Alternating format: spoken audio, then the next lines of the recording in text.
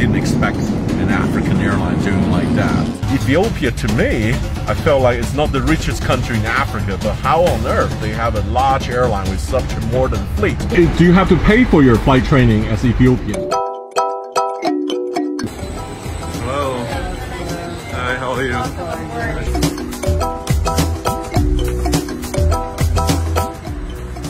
It's not a full flight in business class, but in economy it's packed. And the seats are not the latest uh, 121, these are 222, so if you're on the window, you have to hop over somebody. This is our Ethiopian traditional dress. It's like a robe, basically. It must be comfortable. It is comfortable. Comfortable. It is comfortable. Yeah, it's beautiful. Yes, yes Yeah. thank you. Okay, my name is Peter. With me today, First Officer Brook. Today our uh, flight is from uh, Vienna to Addis.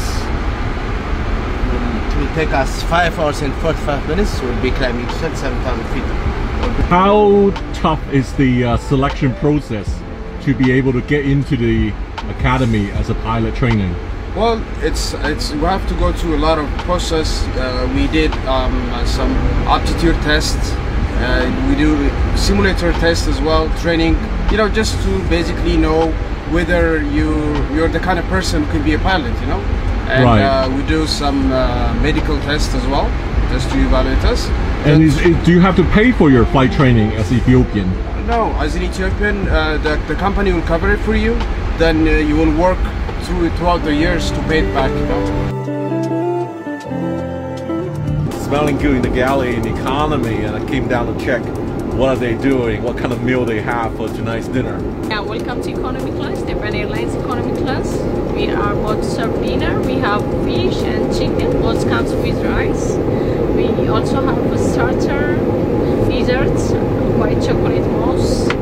Before landing to Addis, we also have another service, which is Ayopra service. It comes with muffin, tea, coffee, and juice. So enjoy the flight.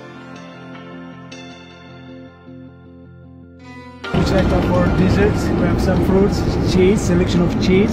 serve, um, you know, like a restaurant quality, and I didn't expect an African airline doing like that.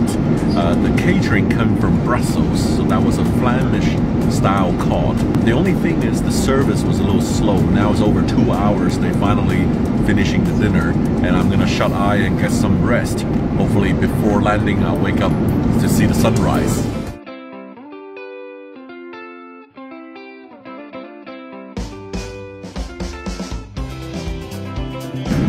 About two hours sleep. The bed here, the seats here became very narrow when you go fully flat. Especially the footwell is tiny and uh, it's quite narrow. The padding was very good.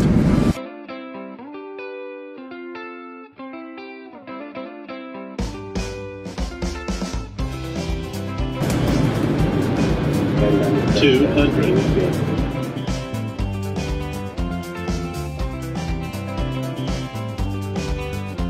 So while we are taxiing, I saw lots of new modern airplane, 350, 787, 777, and Ethiopia to me, I felt like it's not the richest country in Africa, but how on earth they have a large airline with such a modern fleet?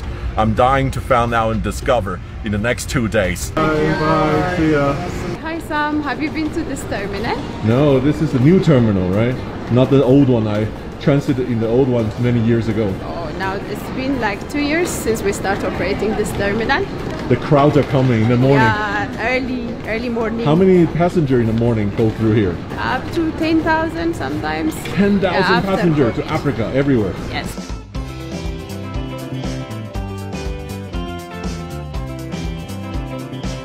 I landed here two hours ago and I haven't stopped.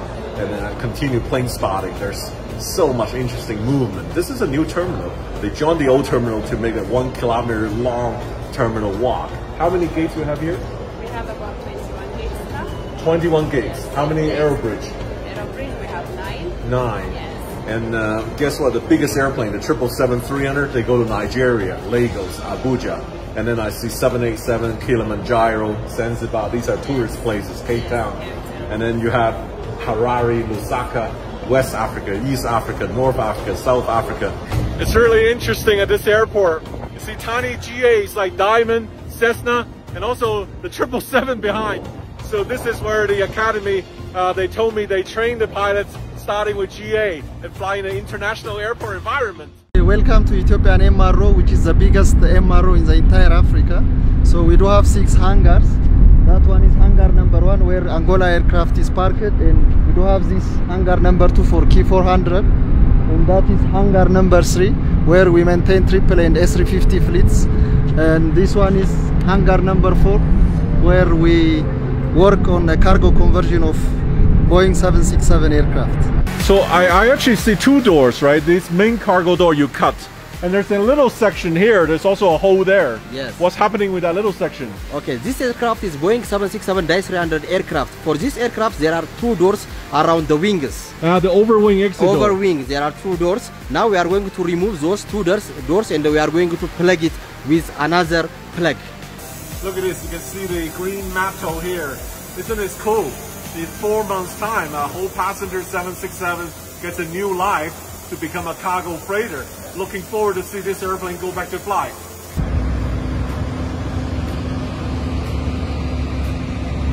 Sam, this is A350 uh, passenger uh, converted cargo freighter, so let's go inside and look. Huh?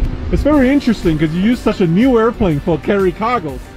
Yeah. Usually cargo has very old airplanes, right? Oh, it used to be the case, but now, thanks to the situation, we have to use it. Wow, look at this. Yeah. Oh. Wow, this is fun going through a narrow passage. Imagine these are all the seats here. Now it's all loaded cargo and very colorful cargo. I bet this is uh, coming from somewhere in Africa. And uh, it is really also interesting to see these are manually loading. There's no pallets here. There's no, you know, automation. So this is all carried by manpower. Okay, Sam, this aircraft came from uh, China and going to Lagos, Nigeria. So we have such kind of operation every day, which we do make sure that all these cargoes are carried in the cabin and reach to their final destination. Yeah, Sam, this is the business class. We are only changing the economy class for the loading purpose, so the business class remain as it is. And here we have uh, our cabin crew who will be looking into the, uh, the, the entire flight. Ah, you guys go to arm the door, right? Oh, yeah. Arm the door and security and uh, and also serving the uh, cockpit. The cockpit. Beautiful sunset. What a way to end the day to see the behind the scenes operation of an airline. Quite a long flight, six hour across the African continent. The problem with this configuration is if you have a window seat, you feel really private. If you have an aisle facing seat, maybe less private. So not all the seats are the same in business class.